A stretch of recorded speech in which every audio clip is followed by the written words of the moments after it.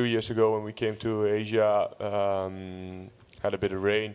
I think it's uh, it's normal when you come out here, and we're used to it. Of course, um, you can't never predict the weather as good as you can, and we have to deal with the situation the best we, we can do. We have to make sure that um, we're as competitive as we can be. Uh, we want to challenge in each game. There's no free games, and the Premier League is the Premier League. It's one of the hardest leagues in the world, if not the hardest.